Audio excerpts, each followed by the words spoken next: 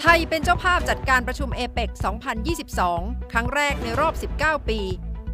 ท่ามกลางการแข่งขันเชิงภูมิรัฐศาสตร์ และเศรษฐกิจระดับโลก ประเมินโอกาสและความท้าทายของไทย ผ่านรายงานและสัมภาษณ์พิเศษ พบกันในข่าวค่ำและทันโลกกับที่นี่ไทย PBS